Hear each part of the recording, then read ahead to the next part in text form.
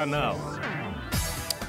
Немного грустная тема, даже не немного, и не то, что грустная, а скорее тревожная. Вот. э, Напоминаю, ну, в начале этой недели «Новая газета» опубликовала статью журналистки Галины Мурсалеевой группы «Смерти» о сообществах ВКонтакте, в которых подростков доводят до суицида. Ну, соответственно, реакция общества, естественно, оказалась э, беспрецедентной. Почему? Потому что число просмотров статьи группы «Смерти» в тот же день перевалило за миллион, а в социальных сетях все еще продолжаются ожесточенные споры.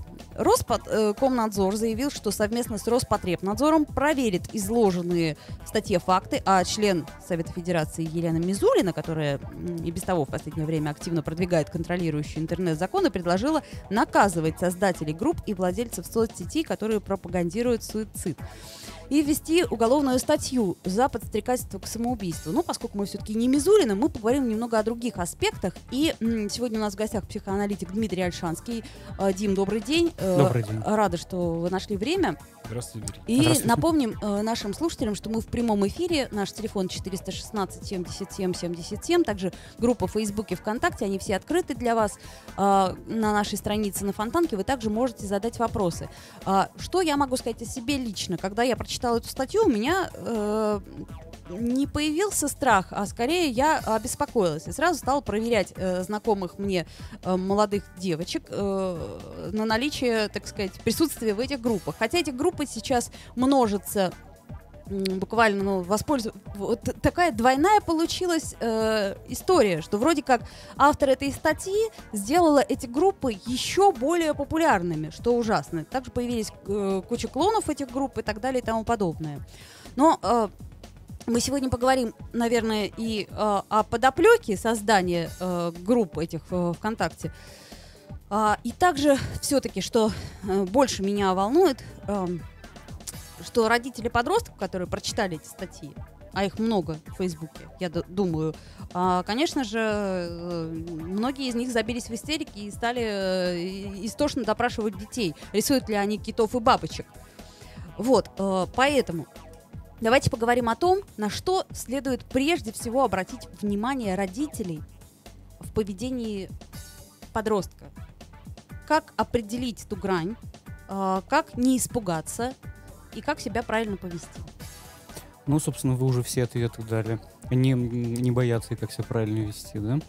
Нужно э, э, разделять два явления. Одно это сам- самоубийство, у которого нет какой-то одной причины. Мы не можем сказать, что единственная причина того, что человек покончил жизнь, это то, что он читал э, какие-то соцсети, какие-то группы, какую-то литературу.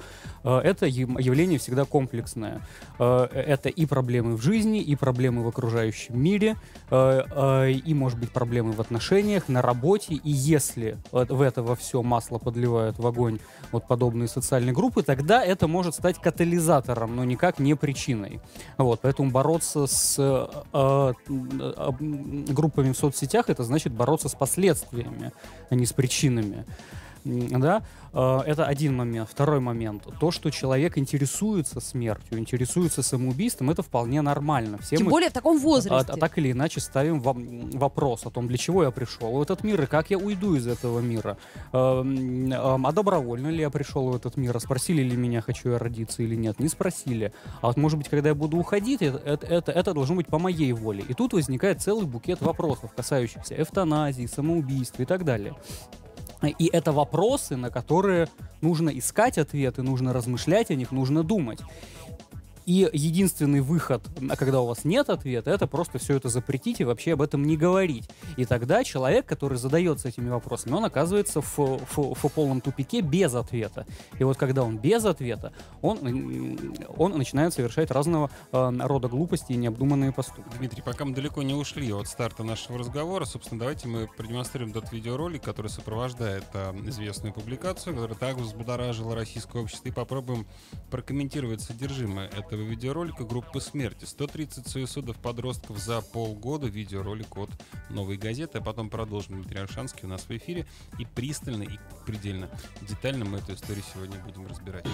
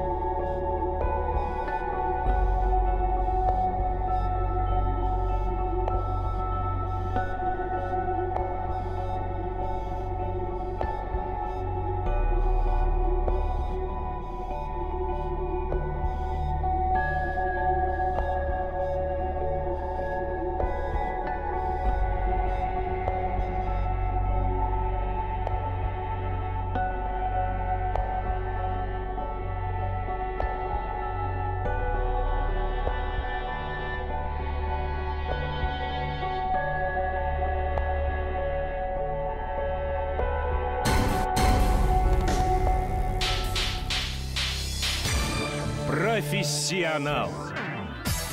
Ну вот этот видеоролик мы посмотрели, сразу, сразу ваша оценка. А, Что вам больше всего, скажем так, запомнилось, впечатлило? Что вы можете сказать об этом видео?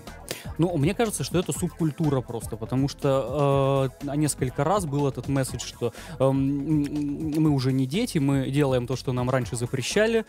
Эм, эм, и какой-то вот протест такой под, подростковый во всем этом присутствует. Эм, я бы сказал, что это определенная субкультура, и не нужно приравнивать ее напрямую к, к самоубийствам. Это разные явления. И когда нам пытаются запретить группы, общение, контакт, интернет, это борьба с субкультурами, это не борьба с э, самоубийствами, это не профилактика самоубийств, скажем так. Я не думаю, что это напрямую приведет к, к уменьшению числа самоубийств. Ну, Я думаю, запретите что вы группы. Группы ну, будут более будут закрытыми, читать, будет да. еще что-нибудь э, придумано наверняка. Вот, потом, понимаете, в один день, да, конечно, так это говорит о том, что люди эм, убили себя в один день, это определенная субкультура. А вспомните, на могиле Маяковского каждый, м, каждую годовщину кто-нибудь кончал с собой. Что теперь э, нам, Вла- Владимира Владимировича запретить? Э, Маяковского. Всех Владимира Владимировича. И Многие скажут, да, конечно. Найдутся люди, которые скажут, да. а, Лучше но- запретить, чем бояться. Скажут многие. А, ну, они пытаются запретить, потому что они боятся. Потому что у них нет ответа на вопрос, что делать с этим. Ну вот, собственно, буквально на следующий день после того, как э, эта история пошла гулять, э, Роскомнадзор отчитался от закрытия по 8 или 10 тематических групп. Отчитались, хорошо. А, ну, окей, какой результат-то? Меньше стали убивать себя подростки? Ну, пока еще трудно теперь будут, видимо, сказать. пристальнее следить. А вопрос, кстати, вы скажите, пожалуйста, как долго сознание людей фокусируется даже на таких кошмарных историях? Ведь перестанут следить через пару месяцев. Ну, как и за любой истории, любая трагедия на какое-то время привлекает чужая трагедия, да? Эм, Рано или поздно интерес пере- переключается, Вот поэтому... вы можете дать прогноз, глядя в эту ситуацию, как бы осознавая ее резонанс, сколько эта история будет действительно оставаться острой. У меня есть такое ощущение, что уже сегодня они стали забывать. Ну, как и любая другая история, если дровишек не подбрасывать, э, то про Украину и про Сирию забыли бы тоже через неделю, понимаете? Если это не, б- э, не раздувать и не подогревать, то это довольно быстро проходит. Ну, Да, но э, это история общая, неделя. а тут э, скорее истории более частные. То есть я имею в виду, что родители подростков сильно забеспокоились. Ну и, собственно, традиционный вопрос, что делать? А так это хорошо, что забеспокоились, вот это прекрасно. Э, Вспомните о своих детях, поговорите с ними, поговорите с ними о жизни и смерти, о самоубийстве, а поговорите с ними о том, как вы были подростком, и как вы думали о смерти, как вы думали о смысле жизни. Почему нет? Это хороший повод встретиться со своими детьми, поговорить на серьезные темы, а не про оценки, не про двойки, не про Марию Ивановну, не про сменку. Дмитрий, а как вы думаете, а почему эта история, вот она когда прозвучала, все, конечно, в шоке в легком пребывают, но никто вслух не сказал, что это история о том, что надо вообще контролировать как-то то, чем живет твой ребенок. Правда же, когда ребенок в 2 часа ночи сидит в интернете у тебя за стенкой в твоей квартире, в вашей общей квартире, в вашем общем жилище, но это не очень нормально. И когда ребенок это скрывает, это тоже не очень нормально. Почему родители этого не знают? Ну вот я это склонен воспринимать скорее как повод для контакта между родителями и детьми. Поговорите со своими детьми, чем они у вас занимаются. И э, тут вот нам в, в конце видео было сказано такое, значит, эм, м, эм, эм, кнопочка тревоги для родителей. А вы знаете, чем занимаются ваши дети? Может быть, в данную минуту они читают. Да, действительно, я подумал, может быть, мой ребенок в данную минуту это читает. Э, но мне есть о чем с ним поговорить. Я бы с ним поговорил о самоубийствах, почему нет, это такая же разговариваемая тема, как и все остальные. Эм, тем более, если ваш ребенок подросток, что нет, нет тем, о чем с ним поговорить, о контрацепции, о спиде, о самоубийствах, о смысле жизни, о девочках, о мальчиках, о, ам, о любви, о сексе. Ам, А еще один повод поговорить со своими детьми, не, не упускайте его, пользуйтесь им, поговорите о самоубийствах с вашими детьми. Что касается э, аккаунта ВКонтакте, который, ну, если мы запретим э, ребенку-подростку аккаунт ВКонтакте, я думаю, что он э, сильно расстроится и, в общем-то, будет прав. Так а мы будем тем самым подогревать протест еще больше. Совершенно верно. Соответственно, а, как э, достичь того уровня доверия, чтобы ребенок спокойно оставлял А. его открытым, А. чтобы ты мог, э, так сказать, э, в 2 часа ночи, когда уже ребенок твой лег спать, таки все же проверить, что за группы, что он пишет э, и надо ли это И делать. можно А ли да- обойтись от этой э, полицейщины, как-то ее Вот, да. изъять, да? Не хотелось бы все-таки скатываться в это. в эту конструкцию. Так а это более пространный вопрос. Как наладить контакт со своими детьми? Как сделать так, чтобы вы им доверяли, и они вам доверяли. Эм, а как сделать так, чтобы э, вам не хотелось залезать в чужой контакт, эм, а пусть у него будет толика личной жизни, в которую родитель не суется, что это тоже нормально. Эм, а пусть будет э, что-то, чего вы, вы, вы про него не знаете, у него какая-то своя интимная жизнь, может быть, он хочет делиться, а может быть и не хочет делиться этим с вами. И э, тут к родителям вопрос, почему вы хотите на каждом шагу контролировать ваших детей? А почему вы не доверяете вашим детям? Почему вы не считаете, что они могут сами принимать какие-то решения? Вот. А тут я бы задал вопрос родителям, конечно. А не пытайтесь контролировать на каждом шагу ваших детей. Вот я сейчас пытаюсь э, представить, что думают те родители, чьи дети таки все же покончили жизнь самоубийством. Наверное, первое, о чем они жалеют, это то, что они не контролировали социальные сети своих детей. Не так, Дим? А я думаю, что не, не в социальных сетях дело, еще раз повторю. Вот. Если ребенок покончил с собой, то это явно не потому, что э, номер один, он первый читал социальные сети, да. Э, у него наверняка были какие-то э, проблемы в, в его жизни с родителями, друзьями, противоположным мужским полом, взрослыми, какими-то государственными инстанциями, я не знаю. И когда этот протест, негатив еще подогревается запретами, запрещениями, скандалами, конфликтами, э, то, э, естественно, подросток зажимается и загоняет проблемы внутрь, он не говорит о них. И тут на помощь приходят социальные сети, говорят, плохо тебе, да кончай с собой, господи. Есть выход. Вот выход всегда есть, да, можно повеситься. Отличный а, выход. И, это, это, это спусковой крючок всех тех проблем, которые накопились раньше. Так нужно решать проблемы. Я, и... честно сказать, извини, что я перебила, да. не встречала подростков, у которого не существует проблем. А так и отлично, а я ни одного взрослого такого не видел. Ну, ты психоаналитик, тебе сам Бог велел. Вот, и детей я не видел тоже, у которых нет проблем. А, эм, человек и жив до тех пор, пока он решает какие-то проблемы. Ему что-то непонятно, с кем-то у него конфликты, с кем-то у него недопонимание, кому-то у него чувства, а иногда чувства безответные. А счастье, как говорится, да, в одном фильме, это когда тебя понимают. А часто тебе кажется, что тебя не понимают? Ну, в подростковом-то возрасте уж точно. Уж всяко не родаки, которые вообще ничего не понимают в этой жизни. А Вот, понимаете? И э, вот в этом проблема, с этим надо работать. Так можно запретить социальные группы, можно запретить Маяковского, можно еще что-то запретить. Это ни к чему не, не приведет. Я так понимаю, что э, не первый раз в жизни эта практика, э, так сказать, э, мейнстрима самоубийств, э, напомним, если это было, по-моему, в начале 20 века, Серебряный век, да, там, по-моему, сплошь и рядом, собственно говоря, были секты, которые э, и описывается это в популярной литературе тоже сплошь и рядом. Я к чему говорю, что тема-то не нова, и проблемы-то не новые, но как их решать, вот вопрос. То есть, э, если ты вот нам, например, есть такой портал «Такие дела». Нам советует судолог, что беспокоиться надо тогда, когда поведение ребенка резко изменилось. Так это? А, резко изменилось в, в какую сторону? Вот э, пишет э, нам социолог, что э, неважно в какую сторону. Например, подросток всегда был задумчивым, стремился к уединению, вдруг стал слишком оживленным, болтливым. Или всегда был активным, а тут внезапно начал замыкаться и перестал делиться новостями. То есть важно, что ребенок изменился. А, ну, меня удивляют при этом родители, которые этого не заметят и не поговорят об этом. И а, нужен какой-то специалист-эксперт, который скажет, нужно обратить внимание, если ваш ребенок резко изменился я не знаю, мне кажется, 90% нормальных родителей не нужен эксперт, э, и родитель так или иначе заметит, что поведение ребенка изменилось, и, может быть, задать вопрос. Заметит и пойдет, как вы говорите, поговорить. Ведь можно так поговорить с ребенком, что лучше бы и не начинать. Есть здесь какие-то, может быть, советы, чего категорически нельзя допустить в разговоре? Потому что, понимаете, можно подойти к ребенку и ну-ка, выключил, все, выключил, все, спать, лег и так далее, да? И реакция будет прям противоположная. Вот это, опять же, возвращаясь к тому, о чем мы сказали, вопрос доверия. У меня вопрос а, простой. Как? Как это сделать так, чтобы это было аккуратно? Как начать этот разговор? Э, я бы от- ответил тоже кратко, по-человечески.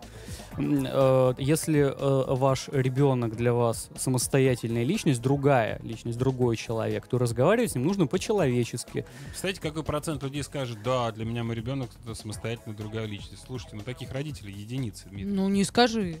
Отсюда, отсюда вывод. Воспитывать нужно не детей, воспитывать нужно родителей. Мой любимый товарищ Макаренко. А, Нужно воспитывать родителей, тогда и дети будут воспитанными. Если родители будут воспринимать своих чат как ам, равных себе других людей. Может быть, они что-то не знают, чего-то не умеют, чего-то не могут пока что. А, Но это другой человек. Э, И у него может быть своя какая-то жизнь. Он, он, он может делиться с тобой, а, а если ты хочешь, чтобы он с тобой поделился, так надо с ним выстраивать отношения. Но это история про то, как не допустить эту ситуацию в будущем, да, вот мы берем с этого момента, с, там, условно говоря, с 19 мая начинаем и не допускаем этого в будущем. А если есть уже ситуация, которую нужно решать прямо сейчас, А- Если, а- предположим, уже киты, бабочки и уже группы. какие-то бабочки, да. А, и- ВКонтакте. А я бы сказал, что любую ситуацию нужно решать так, потому что эм, вопрос наркомании то же самое. Эм, на профилактика ВИЧ-инфекции то же самое. Разговаривать, будьте на контакте с вашими детьми, это единственный совет. Профилактика наркомании, профилактика СПИДа, профилактика су- э, суицидов. А Доверяйте вашим детям и делайте так, чтобы они доверяли вам. Они будут, а будут чем-то делиться с вами. Э, И эм, если у вас получится находиться в роли старшего товарища, который немножко больше знает, эм, и родаки дураки, конечно, но у них информации немножко больше.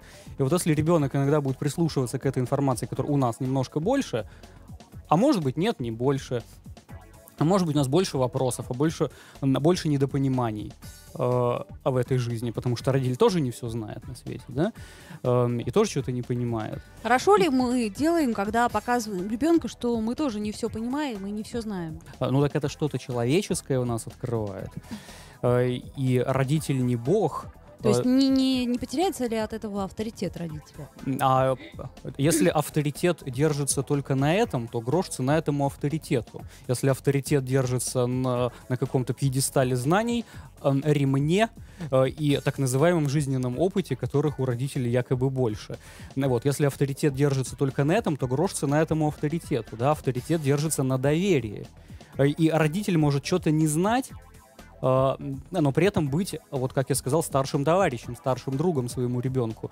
Э, И э, э, это залог профилактики всех, всех текущих, будущих, и настоящих проблем. Вот пишет нам наша слушательница. «А, я тоже пыталась покончить жизнь самоубийством. Стоит ли об этом говорить ребенку в подростковом возрасте? То есть вот сейчас у нее дочка такого же возраста. То а есть у, у дочки есть вопрос об этом? Да, вот если дочка спрашивает, мама, а, э, а ты думала когда-нибудь о самоубийствах? Пыталась ли ты это сделать? Тогда можно об этом поговорить. Если у дочки нет этого вопроса, то он возникнет вдруг неожиданно. Да, то если мама привносит это, ну тогда вопрос к маме, а почему она хочет дочке рассказать о самоубийствах, почему она в эту тему хочет вести? Вот, я, я не говорю нет, но это вопрос маме, почему она хочет это сделать. Вот, мне было бы любопытно.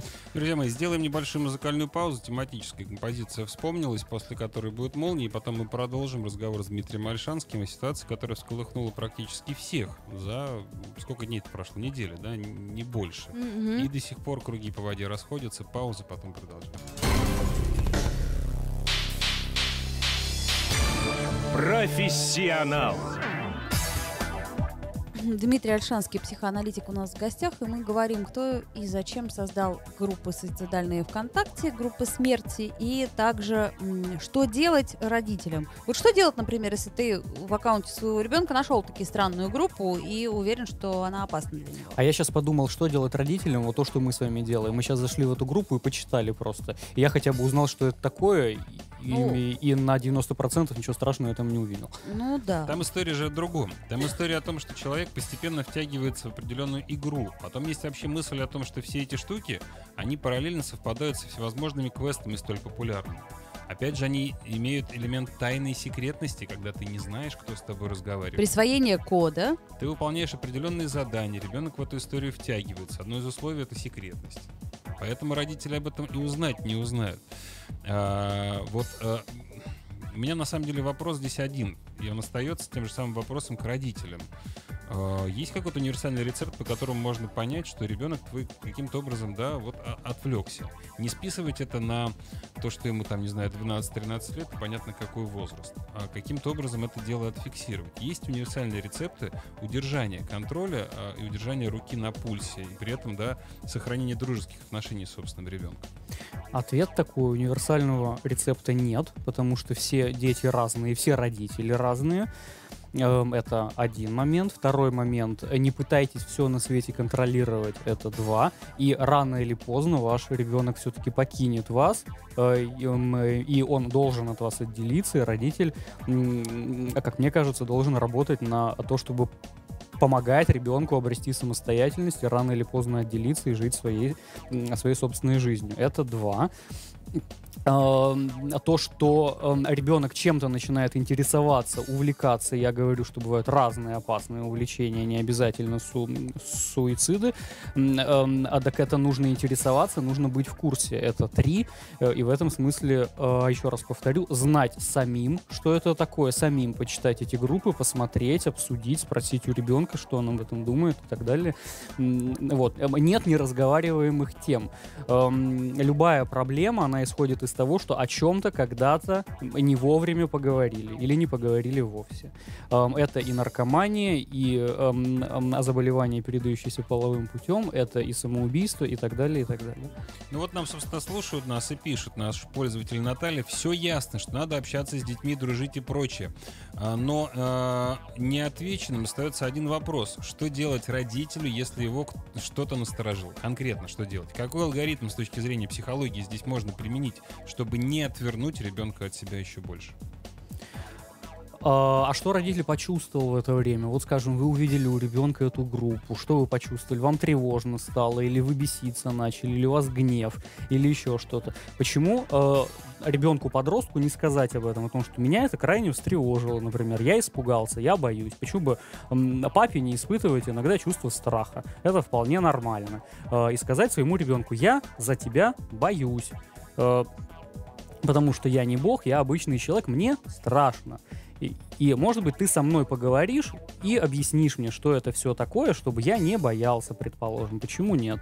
Э, не бойтесь ребенку говорить о своих чувствах. Или э, вы разгневались, и вы говорите, меня это бесит, все просто страшно вообще. Э, или, или, или немедленно я узнаю, что это такое, или я начну значит, табуреткой кидаться в окно. Э, другой вариант. Вот, или третий, я не понимаю вообще, что происходит с тобой. Я не понимаю, что происходит со мной. Я не понимаю, что происходит с нашими отношениями. Это третий вариант. Придумайте четвертый, придумайте пятый, придумайте свой вариант. Люди хотят понять, какой вариант наименее опасен с точки зрения потенциального риска. Потому что любой из этих вариантов, он может ребенку еще больше замкнуть на самого себя. То есть главное не обвинять, А, а мы понимаю. не знаем. Мы не знаем. А, а, не обвинять, да, это хороший, хороший совет, но а, тут нужно от чувств исходить. Ты что почувствовал, когда ты прочитал эту... Вот я сейчас две минуты назад прочитал эту группу, я совершенно спокойно могу со своим ребенком это обсудить. То, что я там увидел, порезанные вены, киты, значит, это, эта тема разговариваемая. Я могу сказать, что я почувствовал. Ему я могу сказать. Он мне ответит, что он почувствовал по поводу всего этого. Дмитрий, а как вы он... контролируете собственного ребенка и то, что он делает в интернете? У вас есть какой-то собственный рецепт? А, нет, я не контролирую своего ребенка, еще чего. У него два аккаунта, и э, э, э, на оба у меня входа нету. Вы не друзья ВКонтакте? А, мы друзья ВКонтакте, но я не, не читаю то, что он там пишет, и у меня нет входа на его аккаунт. Мы можем переписываться, конечно, из соседних комнат. Ну, все-таки лучше, да, дверь-то открыть. Можно хотя бы перекрикиваться. А компьютерные игры, да, это реальность, они есть? А, ну, они есть у любого, и ребенка, и, и взрослого даже они есть я иногда захожу и смотрю, во что он играет, конечно, да. Потому, э, ну, а мне, как правило, скучно, и я ему сразу говорю об этом, что какая-то фигня вообще. Ну вот, я не хочу этим заниматься и тратить свое время на это. Говорит, пап, ты ничего не понимаешь, а мне весело. А, а, а, а так и прекрасно, так и прекрасно. Он другой, он не такой, как я. У него свои интересы, у меня свои интересы. Я сижу, читаю Хайдегера, ему это скучно. Это нормально, когда у родителей потерять, и детей разные интересы. Чтобы не потерять доверие ребенка, ему нужно все разрешать. Boom. Я бы не сказал все разрешать. Нужно понимать, почему ему это стало интересно. Вот я прекрасно понимаю, почему танчики интересны. Я зашел, посмотрел, полчаса я там посидел, поиграл. Я понял, почему это интересно. Э, и дальше мне уже не интересно. Он пусть занимается, если ему это интересно. Э, я послушал музыку, которую он слушает, тоже там пару часов послушал. Я понял, почему ему это прикольно, почему это им, им, ему это нравится. Отлично. У, у нас вкусы не совпадают, вкусы расходятся. Но он может делать то, что он хочет. Вот. Разрешаю ли я все на свете? Нет, конечно. Угу. Ну вот я бы хотела зайти с э, другой стороны.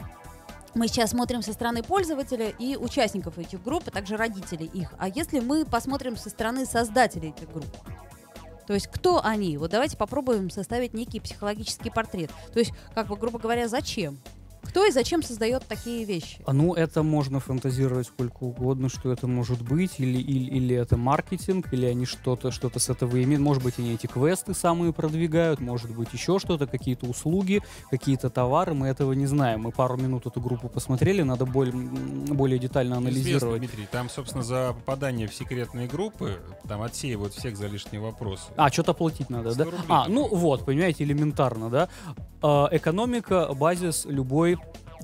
интеллектуальной надстройки, как говорил наш дорогой Можно Карл Маркс. Можно эту мысль подсказать, учитывая, что в принципе все, что ему нужно, все, чего он хочет, так или иначе завязано на то, что ты сначала отдаешь деньги. Он эту модель видит с самого начала. Так а то, что ты ему объяснишь, это ничего не поменяет, потому что любой мультик что-то стоит, любой фестиваль что-то стоит, любой квест что-то стоит. Это, это, это не убивает это наш интерес. А, да, то, что я покупаю книжку за, за э, деньги, и издательство получает эти деньги, не заставляет меня отказаться от книг вообще. Вот они тебя используют как читателя. Да, они меня используют как читателя, но я от этого гораздо больше удовольствия получаю. Вот, это, это не изменит ничего. Рассказать ему, что да, на тебе наживаются. Так все на нас наживаются. Скажет он и будет, в общем-то, прав. Получается, э, что? Вот, в этом смысле да. Э, э, это, это мы можем понимать, что... А, и тут интересный переход. Смотрите, если у всего этого есть экономический базис, то регулировать это можно тоже экономически. Это не обязательно запрещать. А, а, просто не давать денег и все? А, вот я об этом подумал, что можно перекрывать просто экономический краник этому всему, а запрет — это последний уже, значит, метод, последний инструмент, который, он говорит о чем? Он говорит о том, что все предыдущие методы не работают.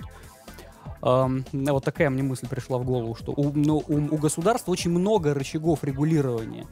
И если оно прибегает к самому последнему запрету, это значит, что все предыдущие не работают или оно не умеет ими пользоваться просто. Есть экономический рычаг, как перекрыть это все моментально. Они им не пользуются.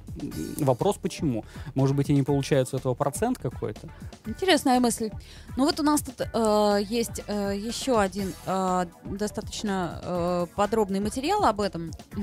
Ну вот, например, Филипп Лис — это один из самых активных создателей групп, э, вот этих вот групп, о которых мы, ну, в общем, я думаю, что все уже прочитали, поэтому э, могут ознакомиться сами с их названиями. Э, то есть получается, что несколько создателей, и все они имеют разные мотивы. Ну, предположим, экономический мотив понятен, мы его сейчас отодвинем. Есть люди, которые э, говорят, что они, наоборот, спасали подростков, собирая их на приманку, и таким образом отговаривали от самоубийства. А есть вот откровенные э, создатели групп, которые, которому просто нравилось этим заниматься и нравится по сей день.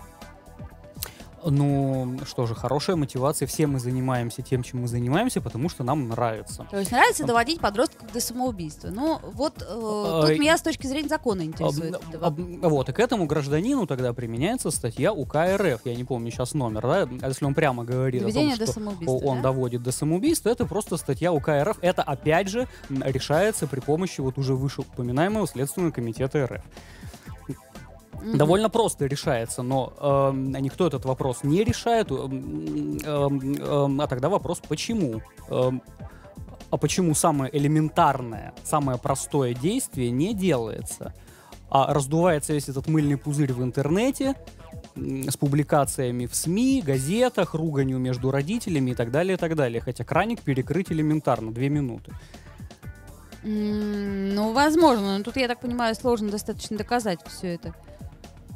А, вот э, тут нам пишут в комментариях на, на наркоману. Ага, наркоману сначала урежь финансы, а потом запрети. Ну, тут же вопрос тоже как сказать, вот мы во время ну, того... Ну, ребенку не давать 100 рублей, чтобы он там код куда-то вводил, да, но это Ну, что? я думаю, что в худшем случае он залезет тебе в карман, когда Вот ты будешь именно, спать, и вот возьмет именно. эти 100 рублей. Вот в худшем случае, э, вот. За вашу реплику про танчики вот зацепились. э, А как, собственно, все-таки разграничивать, где можно, где нельзя?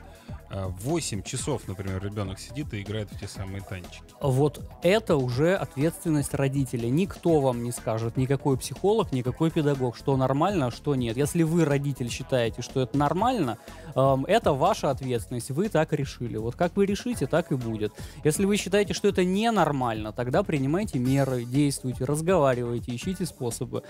Эм, Это степень ответственности родителей. Тут я родителям хочу сказать, не расслабляйтесь, м, работайте над собой, работайте над отношениями. Эм, Это, наверное, вещь, которую я эм, сегодня весь час повторяю. Да-да-да, но мы никак не найдем, э, собственно, кто учитель, кто поможет в этой работе, подсказчик, я не знаю, потому что научить-то можно, знаете, там, ну, разные методы есть воздействия на детей. Кто-то пойдет ремень возьмет, да, и скажет, ну вырубил все.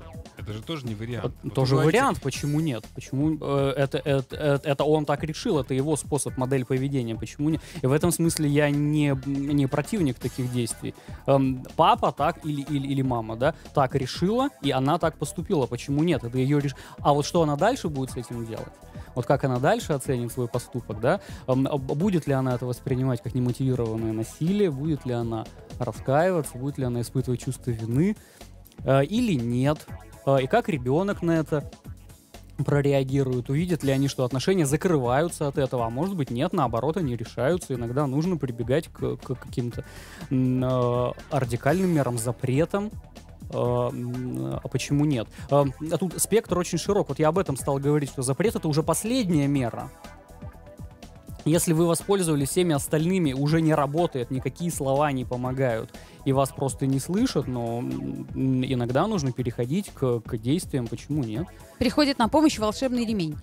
Бывает.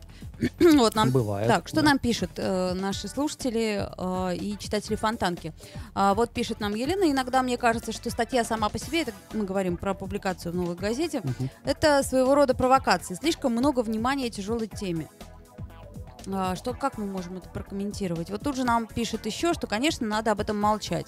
А, вот, э, Роском что-то там. Ну, слушайте, уже запретил это, указывать это, причины. Это, это очень хорошая вообще тема, б- тема для России. Если есть проблема, то лучше всего о ней молчать и делать вид, что ее нет. А как в этом анекдоте? Сядем в вагоне, задернем шторки и будем делать вид, что мы едем.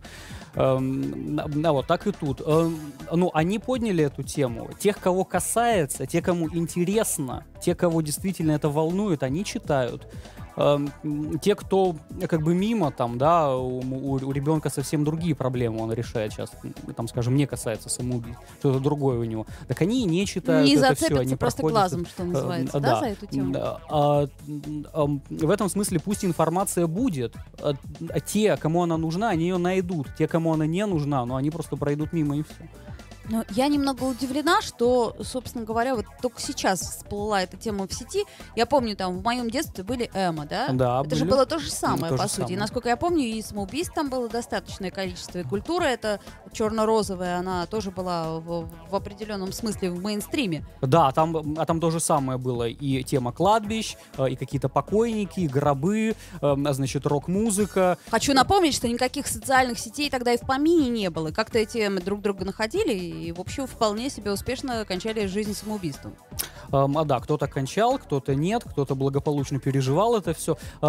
Это проблема в том, что ребенок задается вопросом о смысле жизни и о смерти. Как я сюда пришел и как я отсюда уйду. Вот об этом вопрос. Э, И ничего страшного в этой теме нет самой по себе. Э, Все мы родились, все мы умрем. Каждый человек, это нормально для каждого человека думать о своей смерти. Мгм. А мементо море. Ну, в общем, да, я думаю, что тема смерти, она как, как бы более или менее, когда решается нижняя часть пирамиды Маслова, она ну, возникает у человека. А если не решается нижняя модель пирамиды Маслова, то тема смерти возникает сама собой. Ну да, в общем, не- нелогично. все равно трудно сказать, так мы не ответили. Точнее, так сказать, не нашли мы универсального рецепта. Вот такой вот. Да. Вот понятно волшебный ремень, понятно доверие. Понятно, что контроль э, над группами ВКонтакте, э, даже родителей, это все равно не панацея, потому что вот только что мы, просмотрев эту группу, поняли, что ну, ничего такого уж прям, чтобы такого. Эй, вы все, давайте-ка э, дружно в море нету.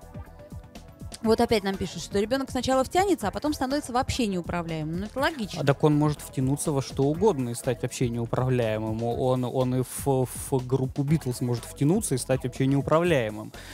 Вот что теперь, запрещать следствие? Эм, эм, я вот к этой мысли постоянно возвращаюсь. Причины, причины нужно искать, а не следствие. Хорошо. Ну а мы можем как-то вот создать альтернативу, я думаю. Вот я смотрю, предположим, условно говоря, мой ребенок состоит в этой группе, да? Я говорю, давай так договоримся давай ты выйдешь из этой группы, ну давай вот найдем еще какую-то группу. А, я, я, я бы тоже вступил в эту группу. Ну, это само собой, переписывался с ним под ником. Да.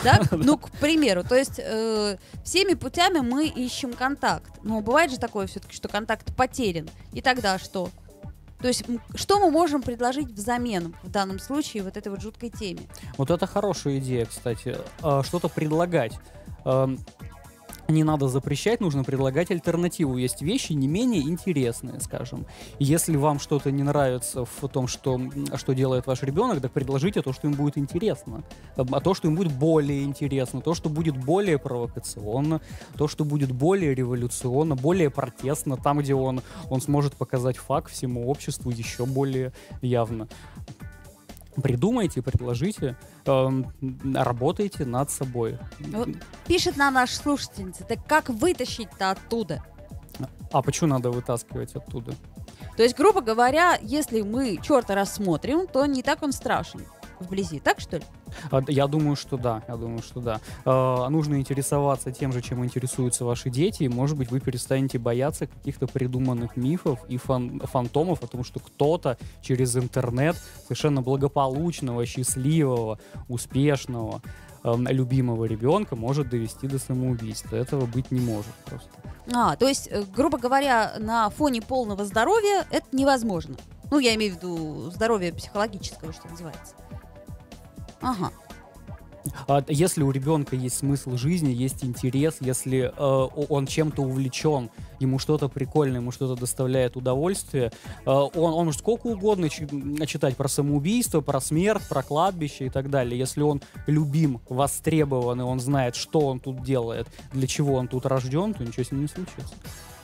Ну, стало быть, любите своих детей. Уделяйте им внимание. Это вот универсальный совет. Ну, Лю, я любите думаю, друг друга. Что, в общем, вы, но ничего нового никто не придумал. Дмитрий Альшанский, спасибо большое, что зашли к нам и поговорили на эту сложную тему.